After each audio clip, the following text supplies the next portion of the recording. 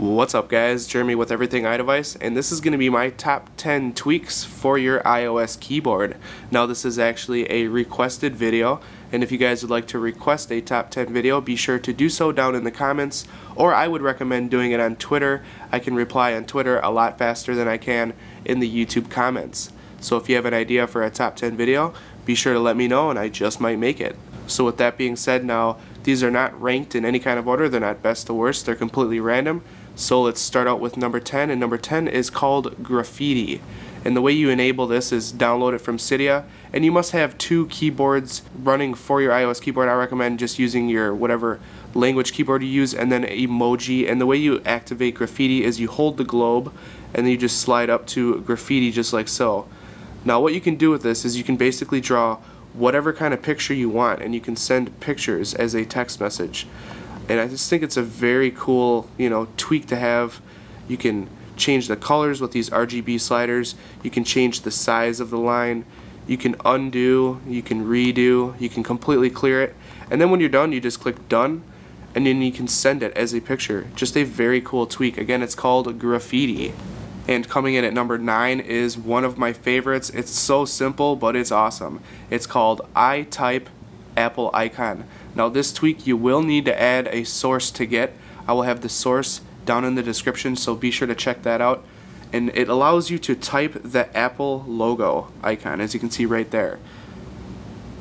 Hold the A and slide over to the Apple logo.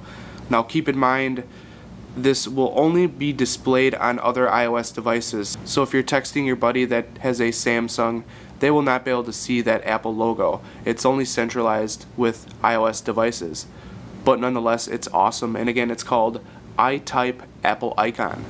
Coming in at number 8 is definitely a tweak I get a lot of use out of. It's called swipe selection. Now I'll just demonstrate what you can do with this tweak here real quick. Now let's say you've typed out part of the message and you just realized that you misspelled the first word there. Now normally the way you go and fix it is you bring up that annoying magnifying glass and just select whatever it is it might be you need to fix. Now with swipe selection basically you can just swipe on your keyboard and it will swipe the cursor over to where you need to fix. Just like so. Extremely useful. You can swipe it right back very quickly and continue your uh, message or whatever it is you might be typing. Again that's called swipe selection coming in at number seven is called KB shortcuts now there's a lot of functionality with this tweak uh, if you're familiar with a computer, basically if you do control or command and hit a certain key, it will do a certain function like uh, select all, copy, paste, undo, so on and so forth. Now basically KB Shortcuts implements that into the iOS keyboard. Now this is something that you're not going to be able to just pick up and know how to use. You're going to really have to memorize the keys and get used to using it. So I'm just going to show you what kind of shortcuts you get.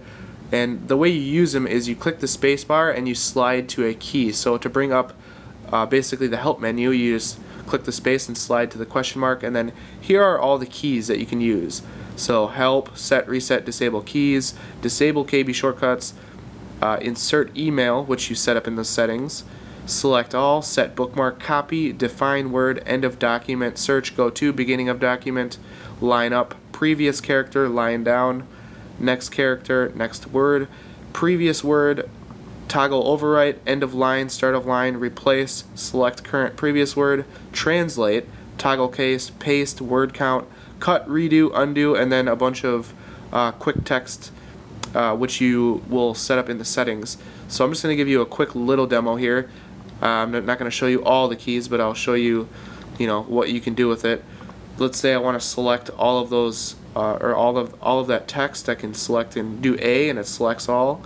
I can do copy like so and let's say I want I can just delete it like that and if I want to paste it or if I want to um, cut it it's a X if I can do it here just like so and so on and so forth it's just a very functional tweak now let's just jump over to the settings and I'll show you just a quick overview of the settings it's basically just customizing your quick text so KB shortcuts on off toggle Translation language, you can set your keys, so if you don't like the way they have it set up, you can customize it to your liking. You have child lock, there's where you put your email in, and then all the quick texts right there, and that's when you slide to space to a number, and it'll put in your own custom text. And that is KB Shortcuts. Coming in at number six is called iKeywi. It's basically just a fifth row of keys that you can fully customize. And you can have it be symbols, numbers, even emoji characters. So if you have uh, emoji, you know, smiley faces or whatever character you might use all the time, you can put those and set those as a custom key. And you can even use words. It doesn't have to be just a single character. It could be a word or whatever you'd like. Again, it's called iKeywi.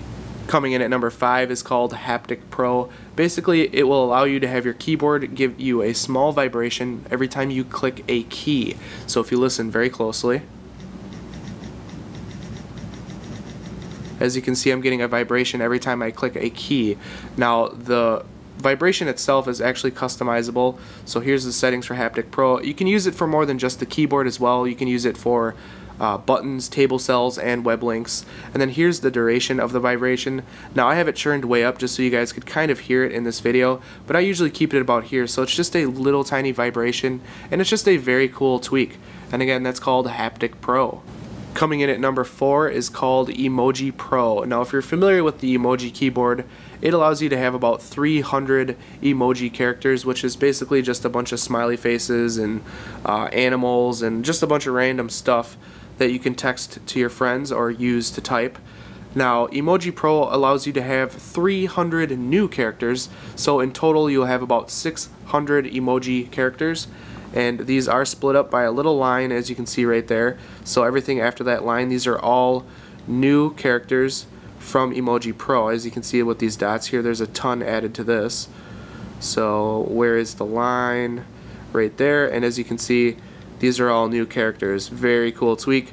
Again, it's called Emoji Pro. Coming in at number three is a very simple tweak, and it's called Manual Correct.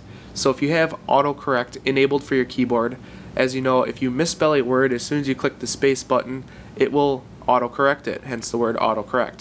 Now, what manual correct enables is you can choose whether you want it to be corrected or not. Now, I'll show you a little quick uh, demo of it. So I'm going to misspell quit, now normally with autocorrect, as soon as you click space, it will autocorrect it. With manual correct, you can click space again and it does not correct it. And the way you use the autocorrect, if you do want it to be autocorrected, is you just click the word like so and it's corrected. That's really all there is to it. It's very simple, guys. And again, it's called manual correct. Coming in at number two is called Octopus Keyboard.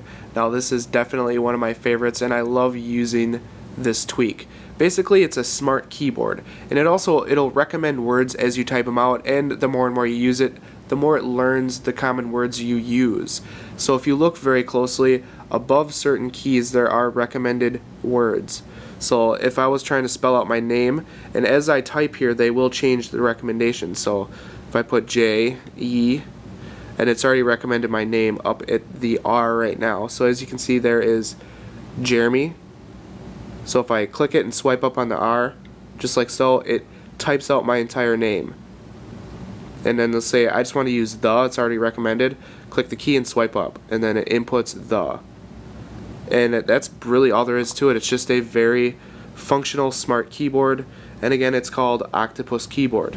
And coming in at number one is a tweak that I'm sure most of you are familiar with. It's Color Keyboard. Basically, it allows you to theme your keyboard and there's a ton, a ton of themes. Uh, most Winterboard themes, at least if they're a complete theme, they will come with their own color keyboard. And I just love it because I like changing up my keyboard. And if you guys are familiar with my videos, I'm sure you've seen this keyboard more than once. This is the Boxy theme keyboard. The only way you can get the keyboard is if you install the Boxy theme itself. Just an FYI.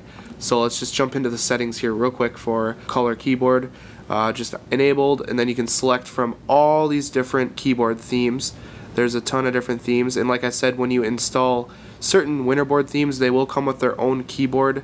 You can select your pop-up key so that is themed as well. And then you can customize your keyboard background the border radius.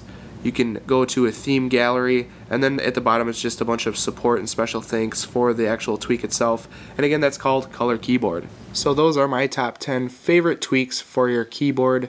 Now again some of these tweaks will come into conflict with one another such as iKeywi and color keyboard also octopus keyboard and swipe selection and KB shortcuts and swipe selection those will come into conflict with one another so you basically have to choose which tweaks better suits your needs Now again, like I said, this was a requested top 10 video. If you would like to request one, be sure to comment below or request it on Twitter. That would better your chances, and I just might make the top 10 video.